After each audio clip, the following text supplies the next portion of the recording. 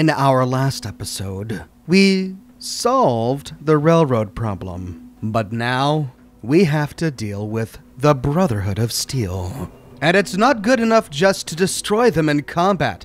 Father says that there are more Brotherhood out there. We need to send a message. And to find out exactly how we're going to send this message, he sends us to talk with Madison Li in Advanced Systems. Dr. Li, What can I do for you? And despite knowing absolutely nothing about Liberty Prime, having never heard about Liberty Prime in the Capital Wasteland, and having not been introduced to Liberty Prime at the Boston airport, we find a dialogue option to talk about Liberty Prime. what have you got to help me with Liberty Prime? It's that time then, is it? The Brotherhood needs to be taken down, and it needs to be done now. All right, all right. Calm down. It's nothing. Never mind. All right. Shaun says it's time. Ah, that. Well, let's get to it. Dr. Orman, over here, please. It's time. What now? I'm still working over the code that the robotics sent over. The algorithm is a mess. It's not even close to peak efficiency. It would seem we've run out of time. Let's go. We're going to cover the basics of the operation as it stands now. Dr. Orman has done most of the prep work, so I'll let her explain. Okay, thanks. Is this really exciting, or is it just me? So, you know that the Brotherhood's main operation is at the airport, right? I'm aware of that, yes. Okay, good. I don't know much about their situation. Okay, well, I guess I just told you. It's their main base in the Commonwealth. I didn't really know for sure. Well, I guess now you do. What can you tell me about the airport? Well, there are a few key buildings that are still structurally sound, but no pre-war aircraft are still in service. If they were a little less intelligent, we wouldn't even be talking about this. We'd have just swarmed them with synths. But they're not idiots. They've managed to generate an EM field that's messing with our ability to relay in. What sort of EM field? What's it doing? Basically, just scattering any suitable complex signals, like the ones from our relay, preventing us from getting close. Sounds like a ground assault will be necessary then. Maybe, but not just that. They'll be somewhat prepared for it. Synths are still the best option. The problem is getting them there. And you too, for that matter. So we just relay onto the airship and sabotage it. Won't do us any good. There's no direct connection between their robot and the airship, so the immediate area around their encampment is a no-go. They don't, however, have the entire airport covered. We can relay you in to a point at the edge of the airport, and then you can get in and take down the generators. Am I going to know these generators when I see them? You should, yeah. They're just blanketing the whole spectrum, so there should be quite a light show. That can't be the whole plan. No, it's just the first part. Your job then is to get closer to the main camp. So I'm by myself out in the open. Way too much risk. Only at first, and it won't be that bad. We'll have the element of surprise, if nothing else. Exactly. You'll have surprise on your side. Should give you some time before they can organize a real defense. For every generator you take down, it means we can start relaying in synths, giving you even more of an advantage. And, oh, I almost forgot. Take these. And these would be. Oh, you'll like this. Uh, thanks. More ammo is always useful, I guess. No, no, let me explain. Whatever it is, I hope it's reliable. Of course it is. Oh, thanks. Grenades. Sure, I can always use grenades. No, no, they're not grenades. This thing, and I haven't come up with a good name for it yet, it basically deploys a beacon marker. Wherever they land, we can lock onto them and relay synths directly to that position. If there's a hotspot, you can drop synths right on it. We've only got a few of these, so put them to good use. Don't go tossing them into the bay. Oh, great. The day is won. I can see it now. We'll see what you think when you're neck deep in Brotherhood soldiers. What are these reinforcements supposed to do? They're going to help you buy some time, while you're completing the real objective. I'm not gonna beat the Brotherhood with this. Toys aren't gonna help me. Hard to please, aren't you? Okay, that's pretty good. I'm impressed. I know, right? I mean, thanks. I thought it was neat. But still, it's just to help. Your real job will be to reach Liberty Prime. You know the deal with that, right? Not a clue. Okay. I'll let Dr. Li fill you in. Yes, well, I don't need the details. Well, you kind of do, because it's the whole point of this. Dr. Li? yes, well, What's Liberty Prime? Dr. Li can give you the rundown. yes, well. The Brotherhood discovered him. An old pre war military project that never saw the light of day due to power problems that couldn't be solved. With my assistance, they were able to get his reactor running and use him against their enemies. What did you do? I designed and oversaw the building of the reactor that ultimately solved the power problems. Well, great. Helping the Brotherhood has really worked out well for us. Oh, spare me. It was ten years ago. You were sleeping peacefully in your little tube while I went through a very special kind of hell. You have no right to judge me. So it's your fault the thing is here now. You have no idea what I went through. The awful choices I had to make. No idea. That. That was ten years ago. One of many things that led me to abandon my old life and seek out the Institute. That's quite an achievement. In objective terms, yes, it was. But the things I went through, that project included, ultimately caused me to seek out something better. It's what led me to the Commonwealth and to the Institute. The point here is that in designing the power system for the robot, I had full knowledge of every onboard system. I know exactly what it is capable of and precisely how to exploit those capabilities. It's the Brotherhood's giant robot. Right. They think it's their ultimate weapon. We're going to show them it's ours. We've taken everything we know, made a few modifications based on what we think they've done with it in the past 10 years. And, this part was my idea, uploaded the whole thing into a modified synth, capable of delivering the virus directly into Liberty Prime. The little guy is going to be exposed and vulnerable, so you'll have to keep an eye on him. Make sure he doesn't get shot, you know? What exactly is this virus going to do for us? Well, if nothing else, it'll take over the weapon systems and establish their airship as a primary target. You can figure out what happens next. I don't know if this is a good idea. Seems unnecessary to go to these lengths. Oh, I think it's a great idea. I mean, really, who do they think they are? Using robots against the Institute? Come on. I don't need some walking tin can to take them down. Need? Maybe not. But we want to send them a message, right? Make sure they leave us alone for good. Turning Prime against them will do that. With Liberty Prime on our side, that'll give us a hell of an advantage. He's not going to go stomping around, and he won't be taking orders. But he will have his weapons and targeting systems overridden. And he'll absolutely recognize their airship as the primary communist target in the Commonwealth. So your end goal is ultimately pretty simple. Get to the robot, then hold the position while the synth does his thing. Oh, and don't worry, we'll pull you out of there before everything explodes. If you have any questions, now's the time to ask. Otherwise, they'll be waiting for you in the relay room. What happens to Liberty Prime after this? They'll be destroyed along with the rest of the Brotherhood. Have we got a plan B? We don't need a plan B. This will work. Anything else? What have I got for backup? Once the generators are down, we'll be able to throw everything we've got at them. And I do mean everything. No questions. Let's do this. Very well. Good luck to you. Dr. Li might not show it, but I can tell she's excited about having the reactor online. Examining our inventory, we see that Rosalind gave us three Institute beacons. These are the grenades that she said will relay in a bunch of synths. But we only get three of these, so we need to use them sparingly and strategically. So the Brotherhood had a big secret. They brought with them Liberty Prime. Now we understand why Maxon told us to reach out to Madison Li in the Institute when we got here. She was the one who designed the reactor. They could have used her help.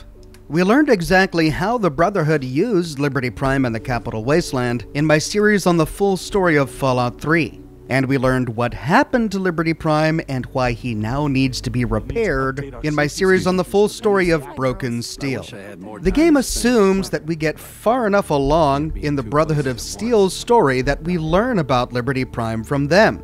But in this gameplay, I hadn't. I had worked exclusively with the Institute. So this character had never heard of Liberty Prime until this moment.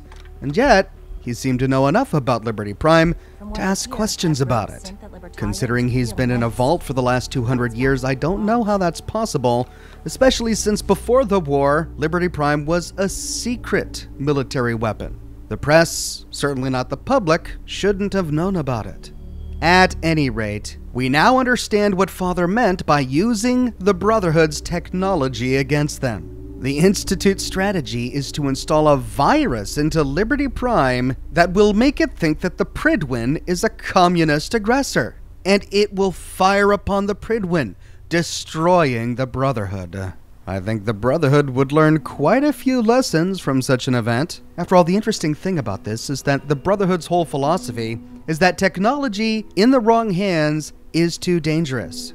They've then decided that their hands are the best hands, and they should have all technology. But if the Institute is successful at this, they're proving to the Brotherhood that even in the Brotherhood's hands, advanced technology is dangerous. If the Brotherhood can't prevent something like this from happening, then even in their hands, advanced technology can be deadly. A pretty compelling message to send.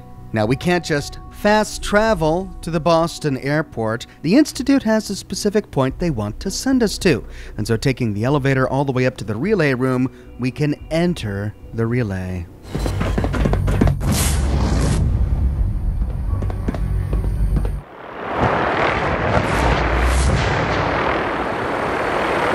We arrive in a rundown shack on the outskirts of the Boston airport. And if we haven't been here before, we discover it for the first time. We see a parking garage out the window. We can loot some minor scrap and first aid in this shack. And then moving out and heading west, we arrive right outside the airport. We are by the front gate.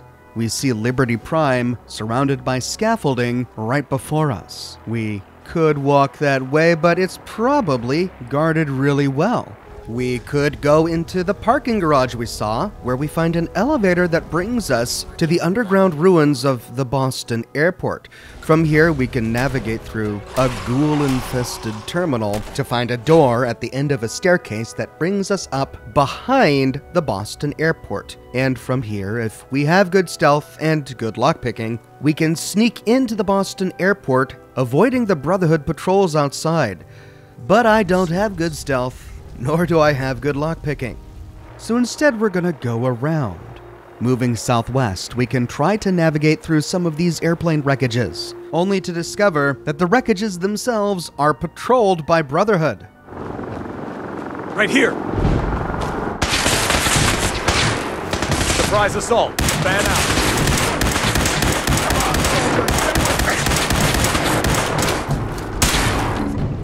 We someone!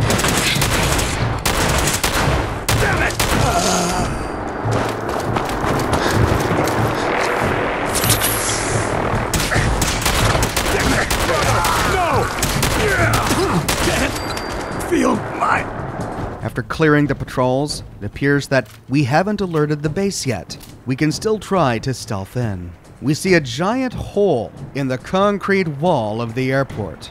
It appears that we've killed the guards, and so sneaking in, we can take a look around. There are a few soldiers milling about here, and this isn't a stealthy character, so we'll have to fight through them the old fashioned way. Something's out there.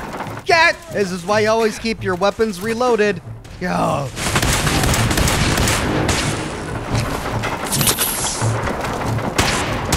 Give me some fire support! Elder! All right, so far so good.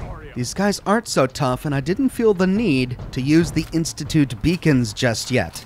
This appears to be some sort of storage room or armory, and so moving around, we can loot a variety of different ammo containers. But to complete our mission, we need to move up. Heading west, we encounter more resistance. And rounding a corner, we find Proctor Quinlan. Elder Maxon. What was he doing down here? Oh well, one Proctor down. Quinlan wears the unique piece of armor called Quinlan's Armor. It's not that great. It has a DR of 1 and an ER of 15. It has no other bonuses. But for the collector, it's worth bearing in mind that this is the only way to get it unless we pickpocket it off of him. There is a desk with a terminal here that's actually involved in a Brotherhood quest, and so we'll cover the contents later. A door leading back outside, and then we find a master locked security gate that we ran past a moment ago in the southwestern wall. I couldn't pick it, but if we could, inside we find an end of dungeon steamer truck, some ammunition, a laser rifle, a footlocker, and a novice locked footlocker with a duffel bag and a metal crate on the other side of this big concrete pillar. There's a master locked door leading outside. Had my character been a bit more stealthy and able to pick master locks, this would have been a preferable way to infiltrate the airport. But with everyone dead on this lower floor and all the rooms explored, we now need to head upstairs. And I have a feeling this is where the real battle begins. Racing upstairs, we find the vertibird landing pad guarded by aspirants and knights. And the first generator is on the landing pad. Find on our squad!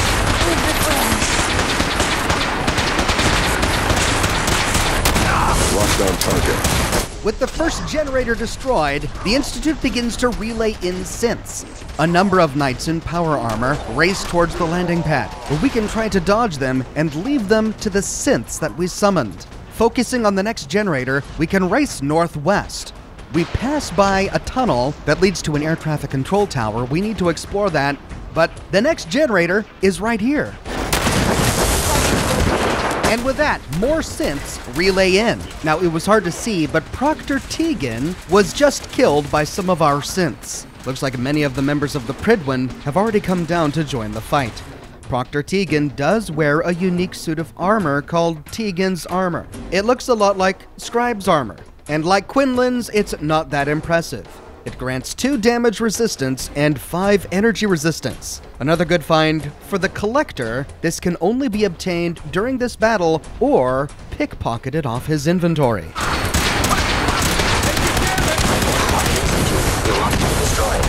With this room clear, the synths and coursers focus fire on Brotherhood down this pathway, but we need to find the third and final generator. So while they're busy, we can turn back around and move down the passageway towards the air traffic control tower. But this is guarded.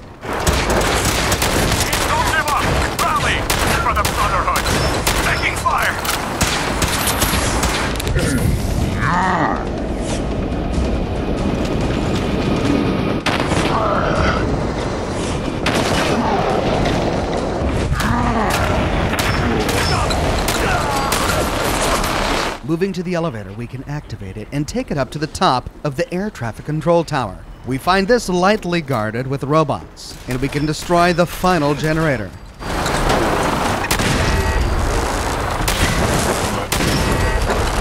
At last, the Institute can relay in at will. We now need to reach Liberty Prime to install the virus. Heading back downstairs, we see that our synths and coursers died. The Brotherhood is still alive.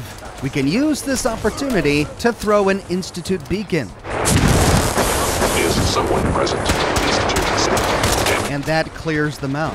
Heading down this tunnel, we arrive at the scaffolding surrounding Liberty Prime. We find Liberty Prime being guarded by Proctor Ingram. But she doesn't carry any unique loot. With Proctor Ingram dead, we can use our last two synth beacons. This is to flood the area with synths to protect the Institute virus as it makes its way to the top of Liberty Prime. A uniquely named synth virus unit strolls up to the back of Liberty Prime. It begins to install the virus. Initiating transfer. Please defend this position. But by now, the Brotherhood knows they're under full attack, and they throw everything they have at us. We have to run around killing Brotherhood while trying to stay alive. Core systems. Initializing.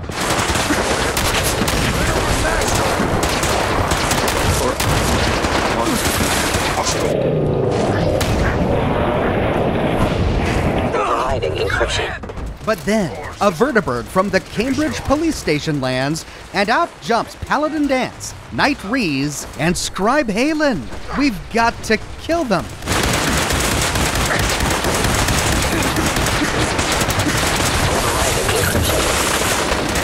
Hostile software detected.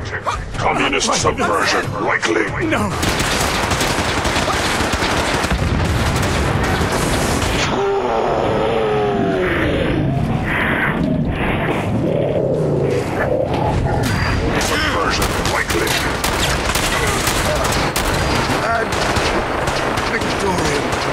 Paladin Danse has little interesting loot, except for the Brotherhood of Steel hood. This is apparently something that many soldiers wear, but Danse is the only one who actually has it on his inventory in the game. We don't have to kill him to get it. Once he's recruitable as a companion, we can always trade with him to take it off his inventory that way. But Danse's hood is the only hood in the game. As a piece of armor, it's unremarkable, granting 0 DR and only 2 energy resistance. So, mainly for the collector.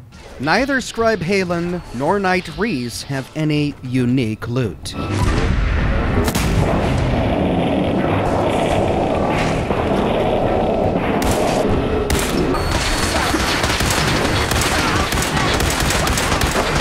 Accessing central processor.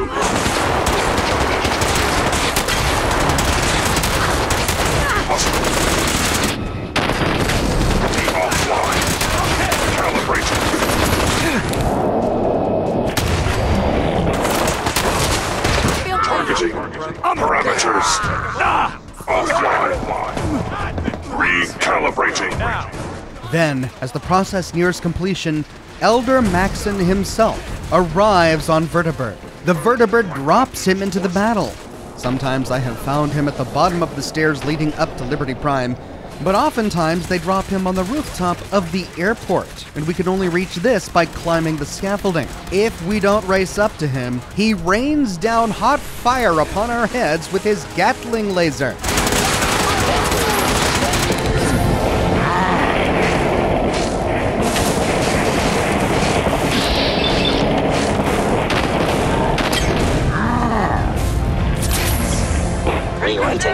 Parameters.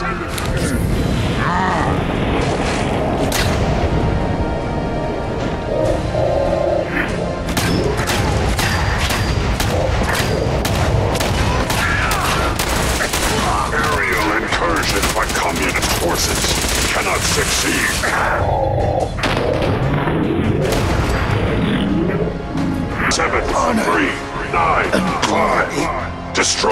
Maxon wears what is probably the best piece of loot we can get from this battle Maxon's Battle Coat. It grants 50 DR, 0 ER, but also grants plus 1 to perception. But the reason it's so valuable is because it can be upgraded with Ballistic Weave. When fully upgraded, it's better than a railroad armored coat. However, Maxon can't be pickpocketed, unlike Quinlan and Teagan. So the only way to get this battle coat is to kill him in combat. He also carries the unique Gatling laser, Final Judgment.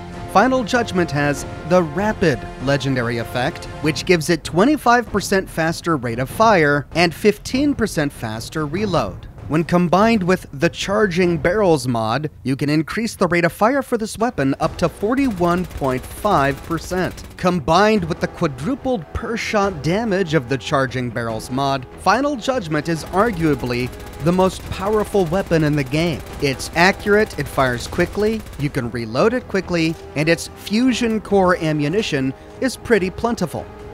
Of note, Elder Maxon wears a unique suit of power armor inscribed with the Elder Brotherhood insignia. This battle is the only way to obtain that armor in the entire game. He wears it in no other circumstance. And so if we want it, we have to choose this ending.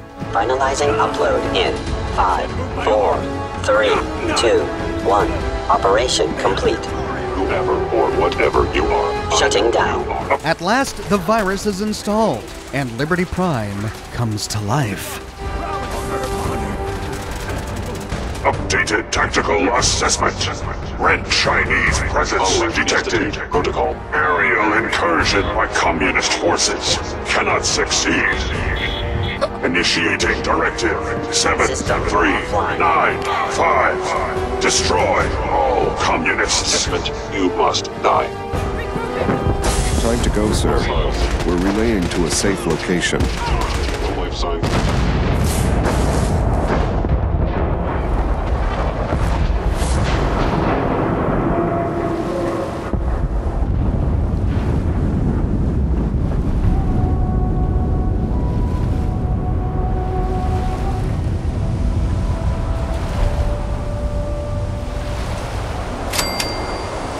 Institute relays us out of the battle just in the nick of time. The Prydwen, on fire, falls from the sky. And when it hits the Boston airport, it detonates like a hydrogen bomb. Nothing survives. No man, no woman, no piece of technology. The Brotherhood and the Commonwealth is gone. This leaves the Institute the sole remaining power of significance in Boston. We did it. We secured the Institute's future.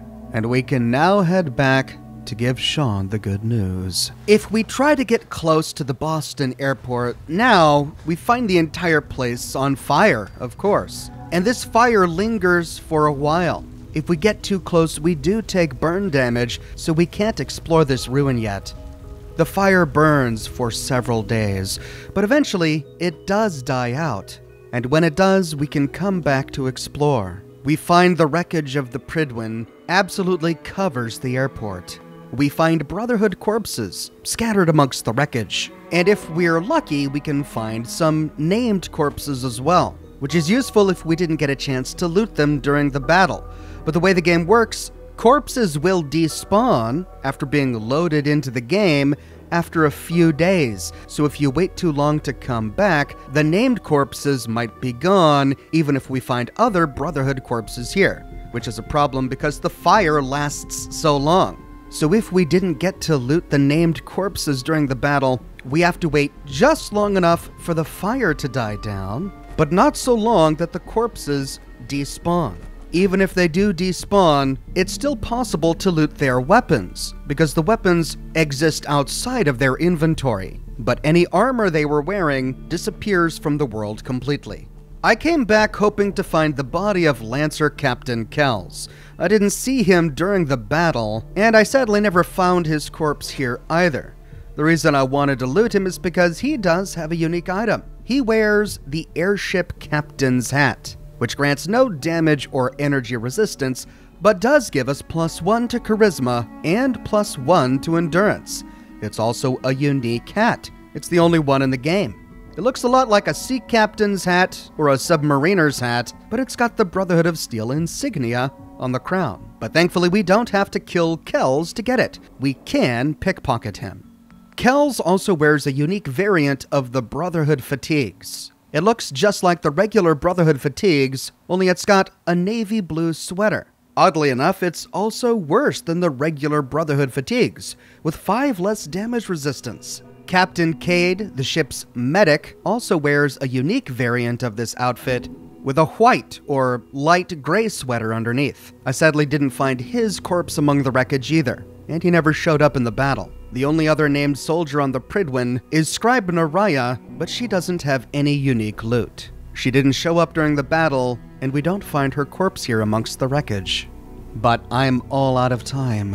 In our next episode, we'll see what changes in the Commonwealth once we side with the Institute. I publish new Fallout videos each and every week on my channel, so if you don't want to miss that episode, be sure to subscribe and to click that bell notification button. If you have already, but you still feel like you're missing out on YouTube notifications, consider following me on Twitter at Oxhorn. I update Twitter manually with every new piece of content that I publish. I've got a shirt shop with completely unique designs that you can't find anywhere else. My designs come on shirts in a variety of men's, women's, and children's sizes and in a wide array of colors. You can find them on other products as well, like smartphone cases, pillows, posters, mugs, stickers, prints, etc. So if interested, you can find a link to my shop in the description below, or you can click here. If you like what I do and you want to support me in another way, consider becoming a patron on Patreon or a member here on YouTube. YouTube members get little badges that appear next to their names in the comment sections of my videos, and access to Ox emojis that they can use in my video comments and in the live chats of my live streams. But more than anything, I'm just so glad you're here watching this video with me today. Thank you so much for watching, and I'll see you soon for the final video in the Institute's full story in Fallout 4.